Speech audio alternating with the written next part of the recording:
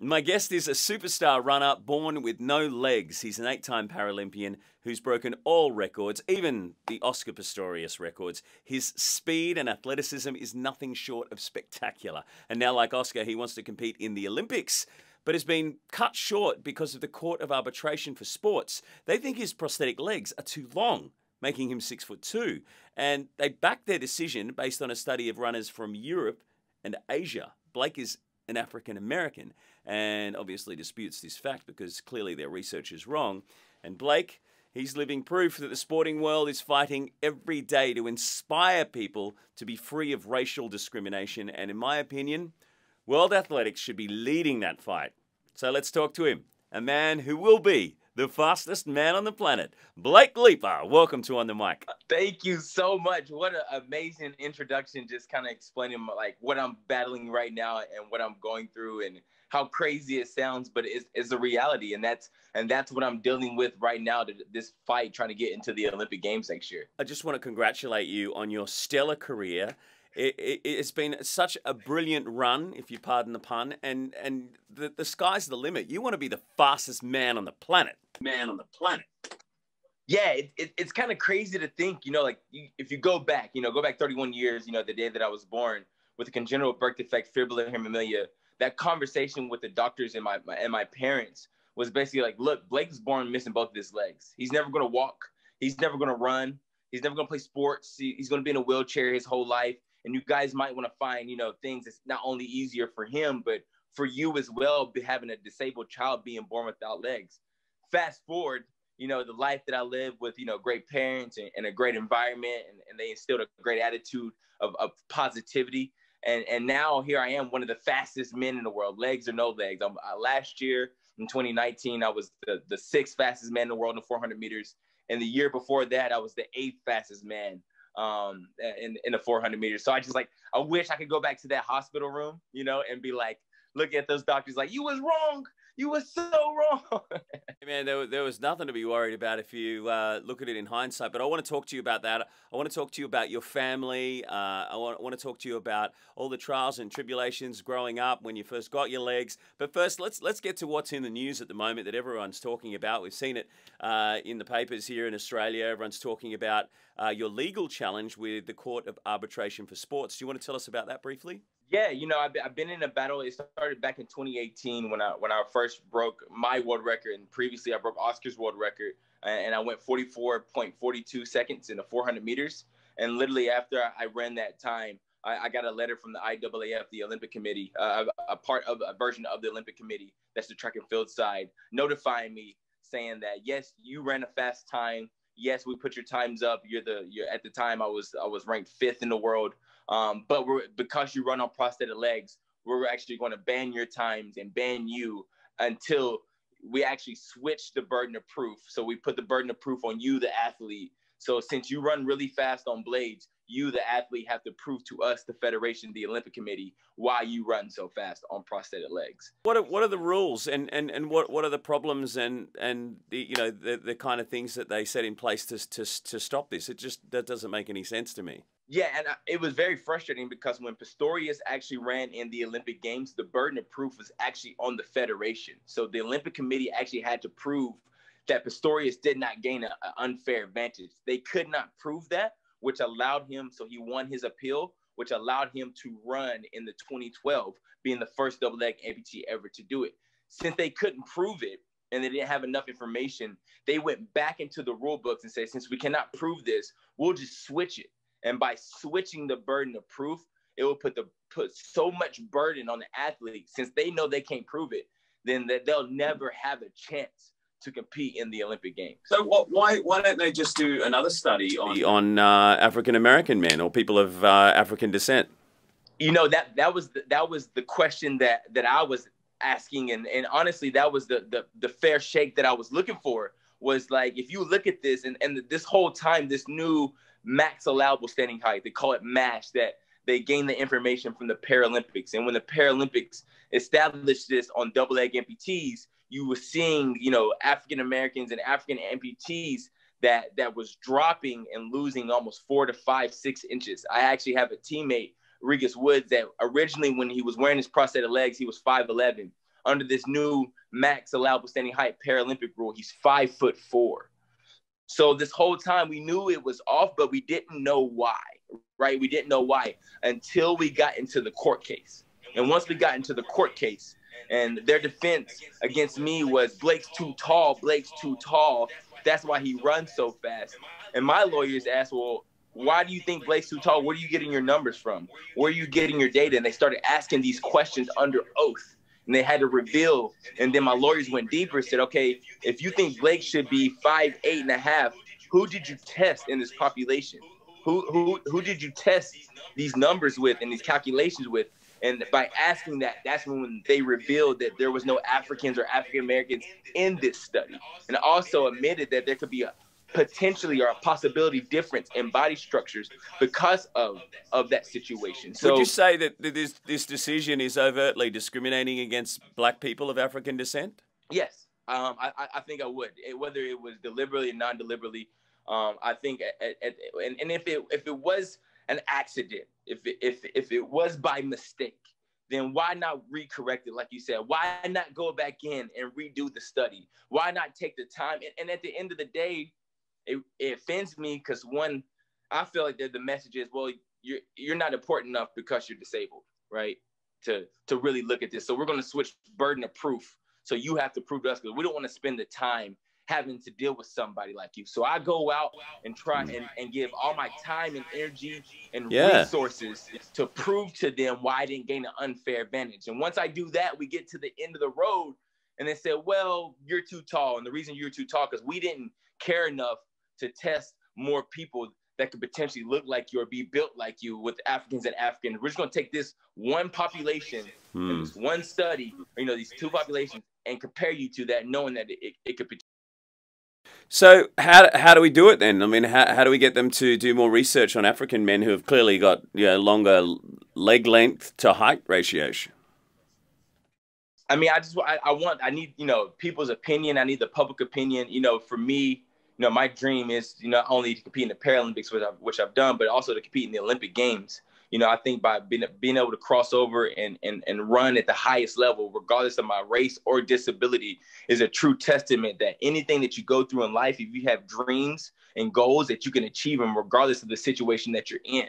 Now, you're going to have blowback and you're going to have rebuttal, but if you keep fighting through, you'll get to the end. And that I feel like that my message could be reached out to the masses, to the to the people all around the world, to that child that that's in China or in Africa or or here in America or in Australia that's being discriminated against because of their disability, because of their race. And they're saying, well, look, Blake is doing it. So Blake can overcome his adversity and his challenges, so can I. Like that's what I'm fighting for. So if I'm fi- I, I'm fighting for myself, but I'm also fighting for a mission for other people. So I need people to to stand up and and, and to call out this injustice to say this isn't right and this should be looked at and we should reevaluate this. Blake, you are such a good speaker. You articulate things so well, and an incredible inspiration. I mean, not not just not just for people who would, would be disabled, but for people who have anything wrong in their life. They, they would see what you're going through and what you're doing, and it, it would just help anyone immensely with any sort of dramas they're dealing with. I'd, I'd love to know um, how they handle these disputes that that, that they're uh, they're having in the court, and and if if you think you'll actually win this appeal at the Court of Arbitration for Sports, when is that coming up? Man, we, we don't know. You know, we we we, we filed our appeal, and, and, and the Supreme Court hopefully get will, will pick it up, and, and, and my lawyers are, are working daily. You know, I mean, I'm, I'm getting hit, hit with phone calls and emails daily to answer questions to get the right proper information to, to get me into the Olympic Games. Like, like honestly, I'm in the best position when it comes to teams when it comes to people, when it comes to coaches, when it comes to individuals like publicists and, and all kinds of people that's in my life that's just working to get me into the Olympic Games. Now, with that being said, I have the highest of the highest hope of running. Like I, every day that I wake up, I envision myself in that in that Olympic final. Right, I'm manifesting nothing but good energy and, and speaking greatness into my life. Like like I'm I'm training like I'm going to be in the Olympic final. Now, will it happen? I don't know right? It's, there's no guarantee, but that's what life is all about. It's, it's going for a dream. It's going for a goal to see the vision, not really knowing what's on the other side, but, but, but having that, that conviction of faith of it's going to happen. If I don't believe in it, if I'm not waking up and going to the track and training like I'm going to be in the Olympics, then I'm wasting everybody's time. What you're what you're saying, it's it's just it's so powerful, man, and I get emotional just just hearing you you talk about it, and and uh, you know these kind of disputes. I guess they're probably going to become more and more common because the uh, the technology is uh, is improving. I remember when I was the uh, the stadium announcer for the Paralympic Games at Sydney 2000, and uh, one one athlete I remember in particular from South Africa. His name was uh, Fanie Lombaard. And uh, I kept calling him Fanny Lombard on the microphone, and he came up and corrected me. But uh, he was such a legend. He was breaking every record in in the shot put, in the, the sprint, in the uh, the javelin. He was just an, an incredible superstar and and a hero at home to to so many people. And, uh, and and what they were talking about a lot back then was, um, and they had a whole show about it at the Paralympic Games. Uh, was about the technology and how the, the athletes' times and um, and distances are getting closer and closer to um, able-bodied athletes. Yeah, so so I've qualified for the Olympic time. I've hit the qualifying standard um, the past three years. Um, and then also for, to put you in example, that I ran last year at US uh, TF National Championships, at the, basically the, the national championships here in the States. Um, I was the only disabled athlete there. Um, I go there and I take fifth um, at nationals. I'm, I qualified for the for the world championship team, and that for in the times that I ran that weekend would have actually got me into any Olympic finals in the history of the Olympic Games. So I, I think that's a true testament that I want people to realize. Like I'm not here to be the sympathy story. I'm not here for the the, the pat on the back. You know, even even though I am disabled, I'm here to win. I'm here to yeah. compete. And and and and that's the tone and the message that I I felt throughout the years was when I was average, or when I was losing, or when I would show up and and be knocked out the second round or the first round. Oh, everybody was so excited. They would clap for me, they would pat me on the back, and that was a great moment to to witness. But the second I started beating people, and the second I became a threat to to the other athletes, and, and to some feel like a threat to the sport. You know, we can't have a man with that was born without legs be the fastest man in the world. That what would that look like to the sport, right? And I was I was hearing these things and I was feeling these things, and you can imagine the things I was reading online and people calling me a cheater and you know, cyborg and and and uh, you know all these crazy things that they feel like the reason why I'm running fast. But the reality of it is, is that it's my training, it's it's my, it's my team, it's my mindset that I have on life that's allowed me to be in this position to run fast. Um, and, and and I think that's why I want people to really understand is that it's it, I have an advantage. Yes, I do have an advantage, but it's not my legs. It was the fact that I was born without my legs and I had to battle back and fight my whole life to get to the position I am today. So when I step on the line and I'm I'm racing the fastest runners in the world, and even though they might be physically faster than me or or might have more limbs than me, my mental is way better than theirs. My my mentality and my perception on life out trumps and people people act differently at the Olympics. You know, the whole world is watching, and you know the, the electricity in the stadium, and and people perform better than their best. They break world records at the Olympics. So you, you don't know how good you're going to be until you're actually there at the start of the 100 meter sprint up against everyone else and standing for so much and so many people you know that you'll be carrying on your shoulders right down there to the finish line you know even, even if you didn't win it, it, it would just it would be just such an incredible thing to watch. Tell us tell us about your your um the technology that you have there uh, in in your legs and and how you think the technology will get better. And and do you think eventually maybe they'll have a different category because you'd be way faster than than people with yeah, you know the, what I'm running on is carbon fiber, um, and, and it's the carbon fiber fit, and that's what I kind of thought the the rebuttal um, and and the, the, the debate was going to be was the unfair advantage comes in the legs, the unfair advantage comes in the carbon fiber spring.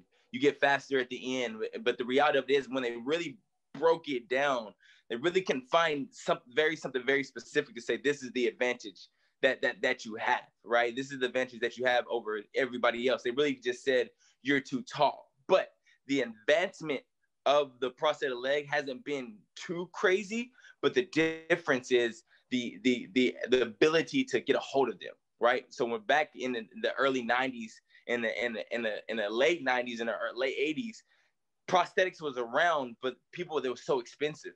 and and you couldn't you had to know somebody to know somebody. Insurance wouldn't buy them for you. They just consider them a luxury and not a necessity. So for me i went my whole life 18 years my first 18 years of my life i had nothing i didn't know nothing about the paralympics.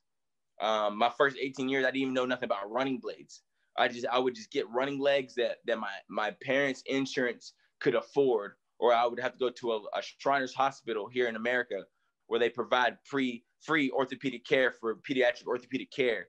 So I, you know, technology was around, but it wasn't getting to kids like me in East Tennessee. So it wasn't until I was yeah. adult. But now that you have, you know, baby prosthetics, you have blades for four year olds, five year olds.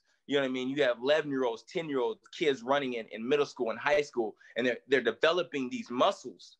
They're developing, developing with the technology and learning how to become one with the technology to the point when they get my age, it's going to feel natural to them.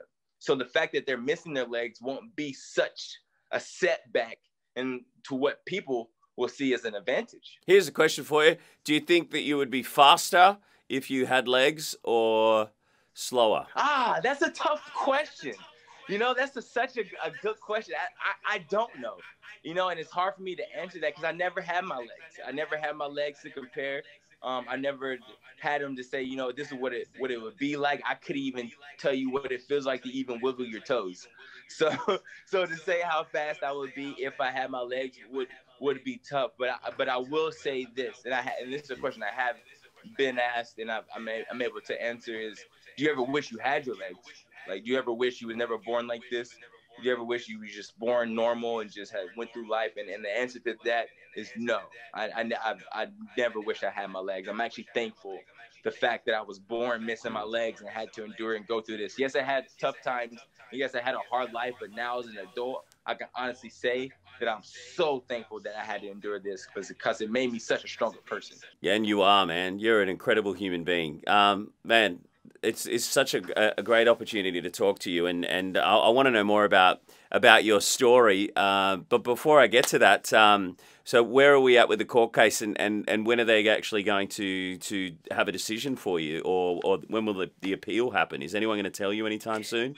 No, I don't. Well, I mean, you know, like everything's been set, been been sent in, but uh, it's a waiting game now um, for me, which is uh, unfortunate because you know my life is is in the limb right now. Like I don't I don't know what's going to happen. Um, I don't know what's when it's going to be. I don't know when I get a phone call. Um, I don't know when when the next case is going to be. Hopefully, it gets picked up soon. Like I said, fingers crossed. But my mindset is just kind of focusing on what I can control, and, and what I can, can control is my attitude and my attitude towards life. You know, my attitude towards you know my family, my attitude towards my career, to my training.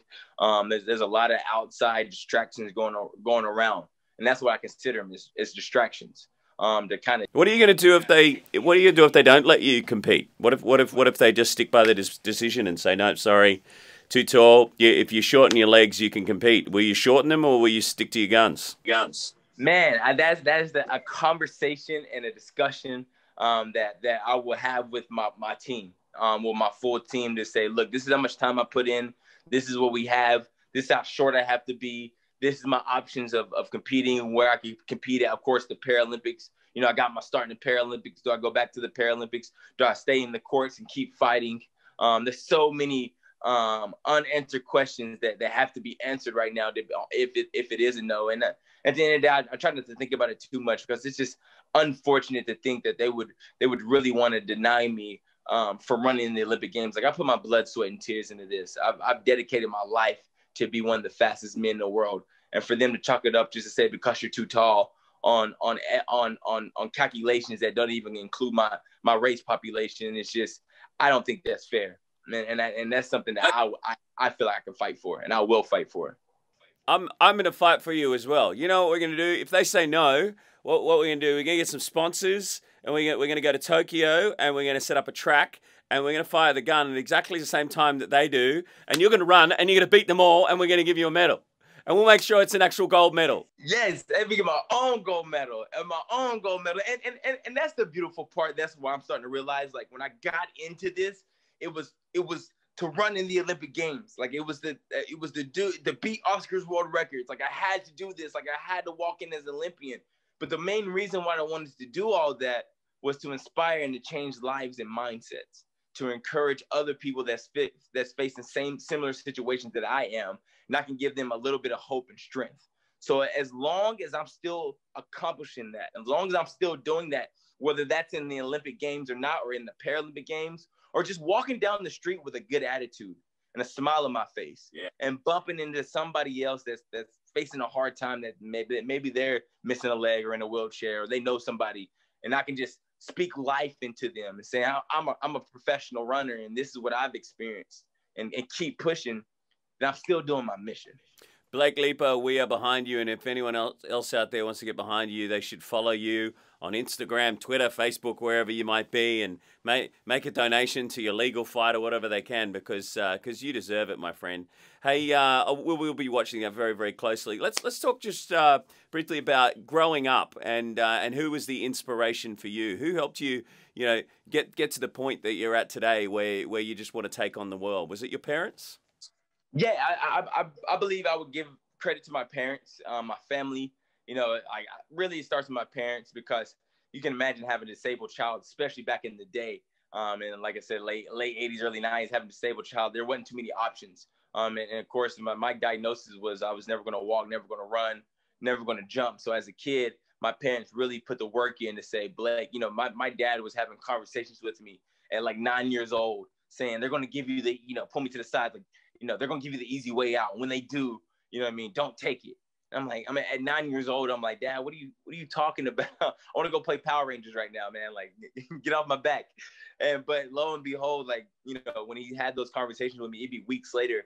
I'd be at a basketball practice, and we're doing, you know, runs. And at the end of the practice, the coach, you know, tells me, Blake, you don't have to do this last run. Feeling sorry for me because of my disability and and because that and i remember those conversations that my father had with me saying when you get the easy get get offered the easy way out you cannot and you should not never take it. You should always want to be the best in the world regardless of of your situation. And that's the mindset they instilled in me at a very early well your dad's a dead set legend. Did you have trouble getting used to your new legs? And and uh, what what were the sports that you first had a crack at? I mean, honestly, it wasn't that bad for me because I, since I you know, people always ask like, how was it to lose your legs? I'm like, I never had legs to lose. Like this is, I, I, I learned how to walk on prosthetic legs. Um, so growing up as a kid, my, my biggest issue, of course, was you know, I, I, I got, I would run around like say it was baseball or basketball, and I'll run around, run, around run around the bases, and my leg falls off.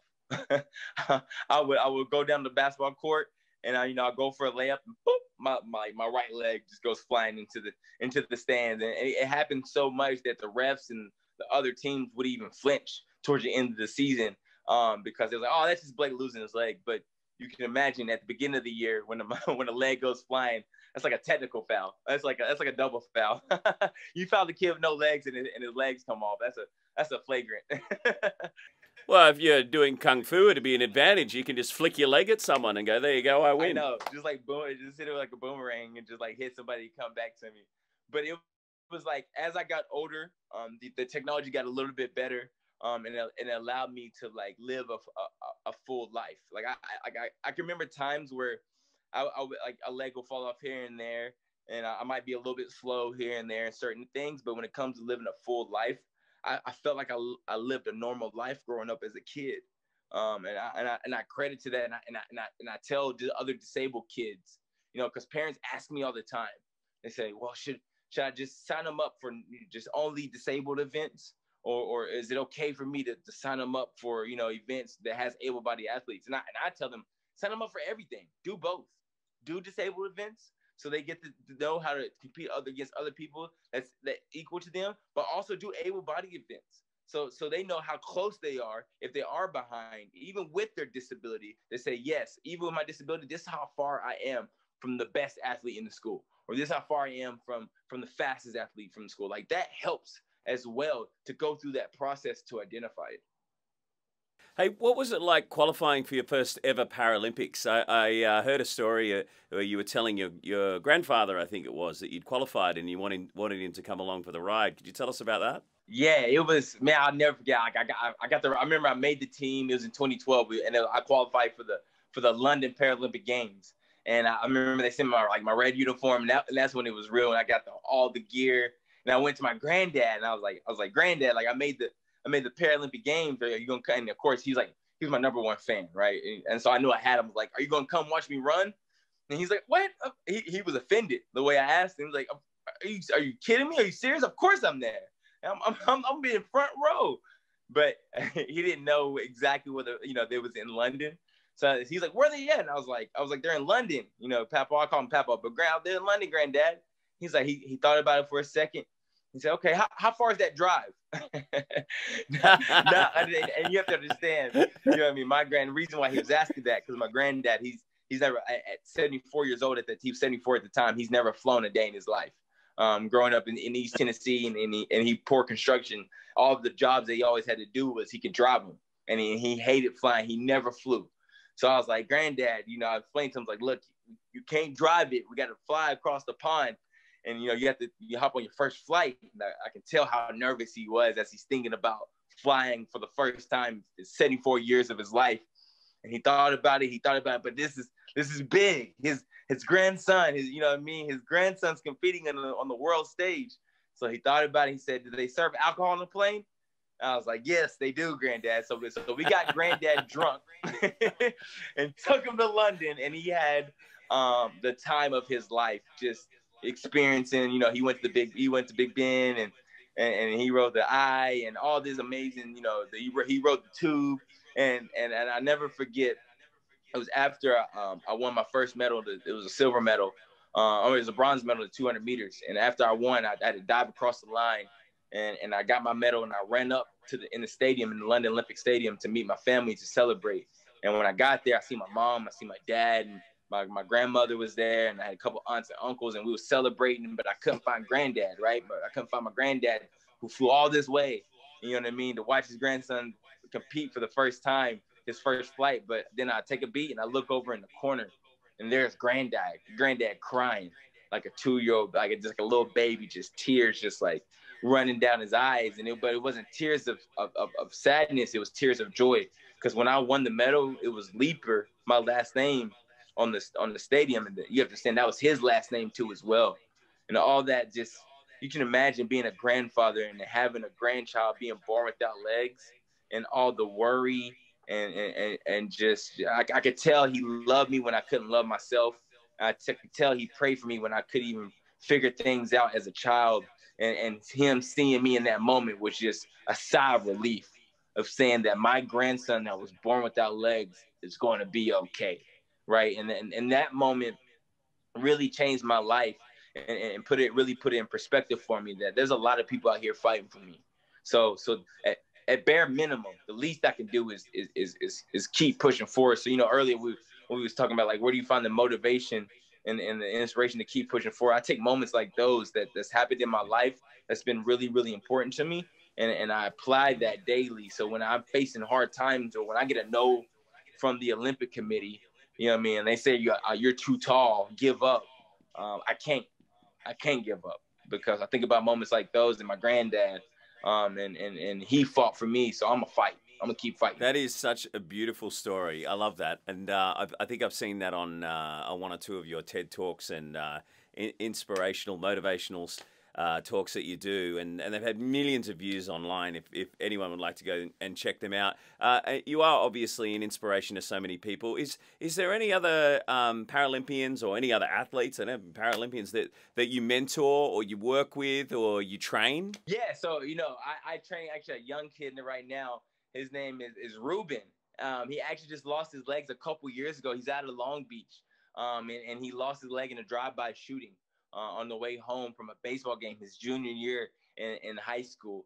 Um, and he was one of the star pitchers for his high school team. And coming home with the with the fellas celebrating the game, um, just in a, in a, in, a, in gang infested neighborhood, unfortunately. And it came by, and he was he was hit by one of the bullets and lost his leg above the knee and you can imagine being in high school, everything going good. He was he was getting recruited by by colleges for baseball. Then boom, overnight, his life changed for forever. Um, that was almost four or five years ago, and I remember visiting visiting him when he just lost his leg. He wasn't even a prosthetic leg. Just spending time with him, not really, you know what I mean, not really forcing Paralympics. And that's the thing. People think like just because I'm a Paralympic, I just like show up like you gotta run Paralympics. Like that's you have to do it. Like it's not for everybody. And I just really wanted to encourage him to say, look, there's a life after losing your leg. Like there's uh, so many. I showed him my blades, showed him my medals. Then fast forward two or three years later, actually this past couple years, he reached back out to me and said, you know, I've, I've grown up a little bit. I've got through co- uh, high school. I'm, I'm going into college, and I really want to make a run for the Paralympic Games. Um, and so I've been training him. It's been tough during COVID because all the tracks have been closed down. So we've been doing like a lot of virtual stuff and just checking in with them and parking lot runs and, and beach runs and grass runs. But working with him and and and just seeing his progression because you know he started from you know three years ago, four years ago, he had both his legs, and now he's trying to make a run for the Paralympic Games. Like you know, people think say, "Oh, Blake, you're such a motivation, inspiration," and I'm I'm I'm saying it's easy. I was born like this. I didn't have a choice.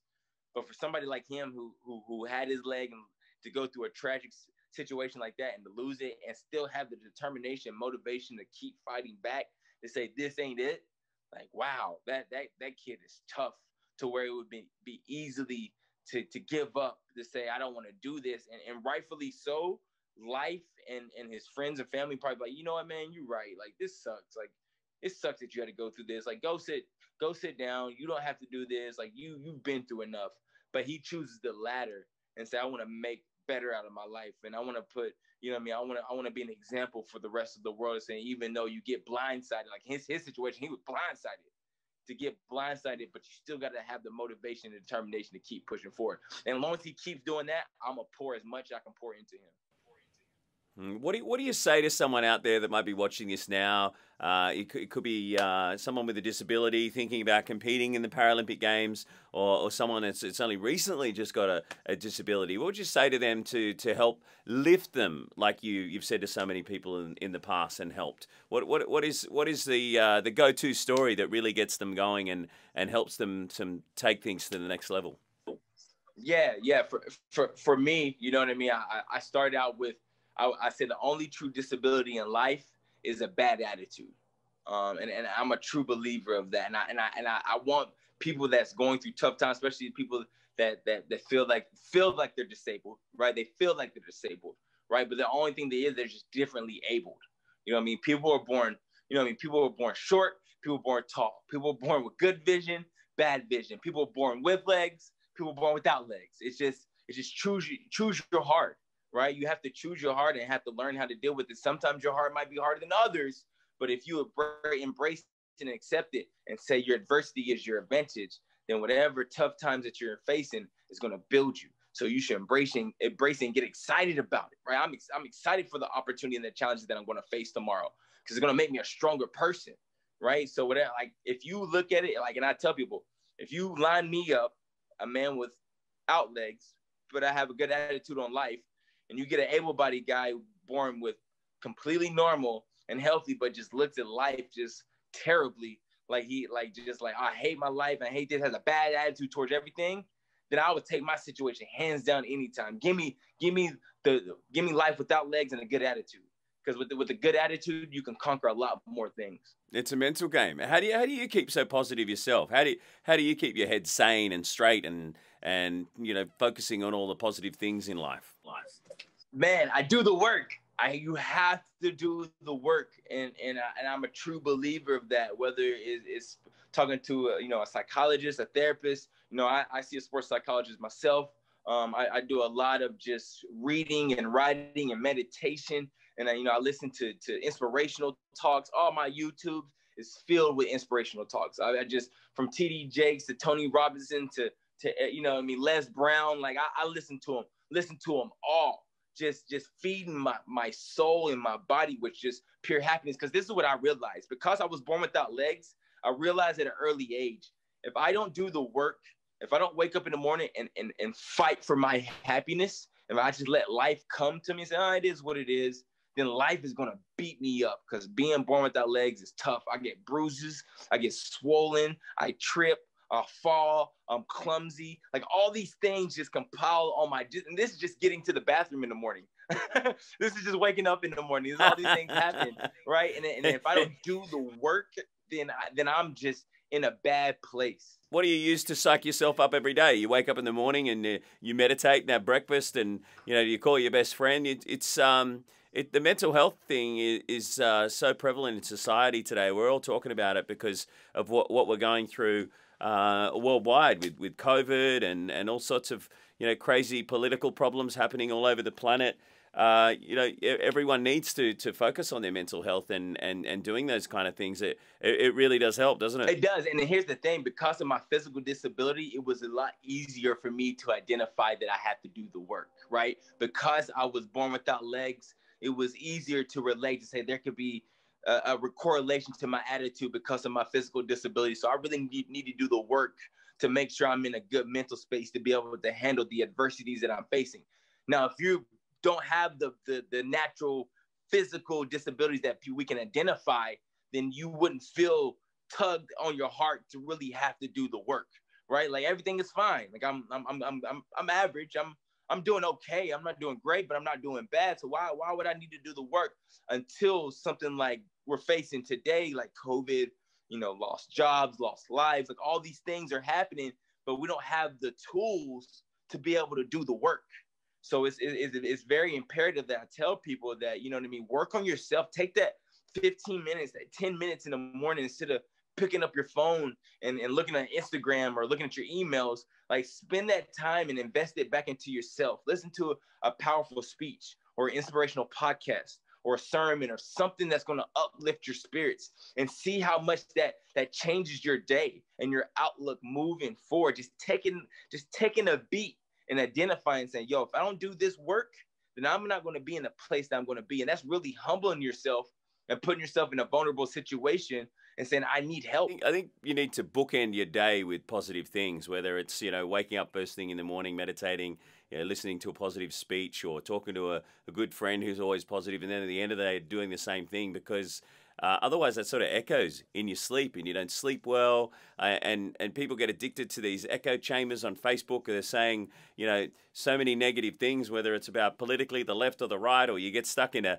in a, in a COVID, rabbit hole where you you're reading all these COVID stories, and it stresses you out, and you and, and it can really you know, suck you into this vortex that stresses you out for the whole day and makes you an unhappy person. So don't do that to yourself, people out there. Listen to Blake and and and follow what he's saying. Hey, how is it going over there because of COVID? Are you uh, you in lockdown at the moment? Where are you? Lockdown. We we just went back on lockdown in Los Angeles. It's it's it's been ridiculous. I mean, it's been crazy. Like we've been had the especially as an Olympian, you know, what I mean, trying to train for the Olympics. We've had park shut down. We've had track shut down. We've had, you know, gyms are shut down.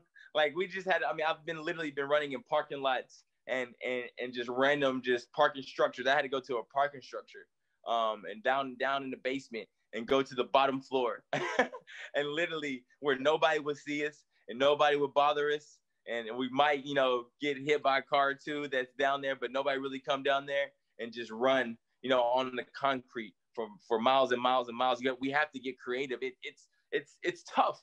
It's it's very very tough trying to navigate this and and and figure it out. But like you said, if if you let it consume you, it can get worse. And and so I'm just trying to like keep stay as positive as possible. Like I you know I I find myself you know waking up daily or you know every other day write my gratitude list. Like, you know, my track gets shut down, my gym gets shut down. You know, I had a had a track meet that was canceled, the Olympics were canceled now, and all the everything that I had lined up. You know what I mean? That was going to be big in my life. I get the I get the no from I get the no from the Olympic committee. Like I'm just like, you know, I had these moments myself. Like what what's going on? Like I'm hearing a lot of no's and, and a lot of things are getting shut down and canceled, and you know, a lot of family members getting sick and not, you know, what I mean, not make all these things are happening. So I had to take a step back and working my gratitude list. I had to write my gratitude list out and, and, and, and start out and writing all the things that even though things are upside down right now, and even though things are crazy right now, what what what am I thankful for today? Like just for the moment, in the moment. You know what? I'm thankful to be alive today. You know what? I'm, I'm for me personally, I'm thankful that I could walk today. You know, even though I was born without legs, I can still put my prosthetic legs on to go out there and, and walk. You know, I'm I'm thankful I can run. You know, I still have a career. I still have an opportunity. You know, even though the Olympics got canceled, it, it, it got pushed back. It didn't get canceled. So then it starts putting in perspective for me. So I'm like, you know what? I, I, I still got something to fight for. How, how is everyone going now in California? Are they uh, are they all taking it seriously? Are they practicing the social distancing? Uh, are people wearing masks out there on the street? Are they, are they wary of this virus? Because I know there's a lot of conspiracy theorists out there that think it's not really happening. Uh, I mean, here in Australia, we've been through lockdown at the start of the year. Uh, Queensland, where I am, we uh, we, were, we, were, quite lucky, and uh, and we, we haven't had um, any cases for quite some time. But Australia's just come out of lockdown. There is a light at the end of the tunnel, Blake. Man, it's it's tough, you know. You know, especially here. I, I can remember was it back in March where we went on the first lockdown, and it was it was scary. I I never, you know, me personally, me and my my fiance, we was we was pregnant at the time. So we, we actually had a, a baby during lockdown, a baby during quarantine. We had a quarantine baby. Oh, um, congratulations! Yeah, she was, she was He's a daddy. July 20, 27th, um, 2020. Oh, yeah, yeah. We had it. So we're gonna tell her Chris gonna be boy, a crazy story. The boy or a girl? It's a girl. It's a girl. I'm a girl dad. Thea Blake Leeper. Oh, beautiful. Congratulations. That's, that's such a, a nice story. Yeah, thank you. But, you know, going through that as parents and, you know, new new parents and seeing the hospitals get crazy and and I couldn't even go to I would say half of the of the of the doctor's appointments because it was only the mother and the baby, you know what I mean? The mother and the baby was in her room. So I, I just had literally had to sit in a sit in the wait like in a hallway. I couldn't go into the waiting room. Like just going through that process was it was getting scary. It was, you know what I mean? And, and it still is, but you know, now we're in a position where, you know, some people are getting fed up. You know I mean? Some people are getting frustrated. You know, here for us in California, they open this back up, then they're locking this back down. Um, and, and, and it's tough for people. People are losing jobs. You know I mean? People are losing lives. Like it's just so much that's just going on. What about all the homeless people on the streets of LA as well? I mean, homelessness has always been a problem there. How are those people handling it? It's, it's getting worse. You know, I was I was actually down uh, down by the beach the other day, and you know, Venice Beach sometimes have their issues. You know, a little bit of homeless is hard. You know, I mean, like, they're trying to monetize as best as possible. But with COVID and, and you know the, the the housing's so expensive here in in the city that it just took a toll on the homeless, and it's just just so sad to see. It just breaks my heart. You know, I mean, when I'm driving through the city and, and seeing people on the side of the road that's just just completely struggling on their last end and with with nowhere to go, with with, with no resources whatsoever, and and and and, and when with the feeling that I'm feeling, and I, I don't know how everybody else is, but what what's next? Like like like where do we go from here? Um, you know, I mean, what what what should we do? You know, the, I know the vaccine is coming out, and you know we're getting prepared to administrate that, and what levels, but like how do we move from mm. here? You know, like how do we rebuild from this point? You gonna take the vaccine? Do you think? I don't know. That's a good question. I don't know. Are you? I don't know. That's a good question. I got to say, I got to talk to my doctor about. I'm not that. taking it. I'm gonna. I'm gonna wait until probably about a year or two, just so it's been tested on a few people, and if no one's had any weird growths happen or heart attacks or anything like that, and um, and I think I might take it. What what the problem's going to be is is if they start bringing it into your passport and you can't travel overseas unless you've had the vaccine, which is is is going to be a worry not go in and be like, I lost my legs. What happened? do you do that a lot? Do you play jokes on people? Do you kick off your leg just for a laugh? Yeah, I can imagine like, you would. Yeah, I have to. I mean, honestly, and, that, and that's what I tell people. Like, the one easy way to the like one good way I, I was able to, to get through my challenges and my disability was to have a, like a good attitude towards it and always laugh at the situation. So any chance I got, I, I had to play jokes and pranks. Like we would go knock on neighbors' doors and I would turn my leg backwards, like just lay in the yard, my leg by my head. And my leg would be like up here, you know what I mean? Just, Look how good at yoga you are. freak people out all the time. But if you if you can't laugh at yourself, you can't have. If you're taking yourself too serious, then then life is no fun whatsoever. So you got to be able to, to roll with the punches, have fun, and just keep pushing through. And especially when things are so serious. I mean, COVID, and you had the, the Biden Trump election, and all of the Black Lives Matter that's a, uh, protests that are going on in America and California was a, a big part of that. Uh, um, I got a friend who's an NBA skills coach, uh, Irv Roland. I don't know if you've heard of him, but uh, he was out there protesting every day with, with the movement. Was that something that, that uh, came into your life in any way? Anyway? Yeah, yeah. I mean, definitely. You know, I mean, especially growing. You know, I grew up in East Tennessee you know what I mean? And seeing all the things that was happening in America, especially with the Black Lives, was just it was breaking my heart, man. Me, me and my fiance, we sat down and we watched the Breonna Taylor story the, again the other day. Um, it was broken down. I think it was on Dateline. And midway, I was just I I personally was in tears. Like like like when they broke down that case and what really went down in in in Kentucky, like and and the negligence and all the terrible things that went on in that case, it brought me to tears. You know what I mean? And uh, I'm not that emotional, but it just broke my heart so much. It's just a shame that that all these terrible things are happening here in America, but you flip it and reverse it, and you see the George, George Floyds and you see the Breonna Taylors, and you see how they're changing lives and mindsets, and and that they put people in a position where it can be called out. Like that's that's that's the beautiful part. We hate that their lives had to be sacrificed for something like this, but at least change is happening. Will Smith said in an interview the other day, um, racism's not getting worse; it's just being televised.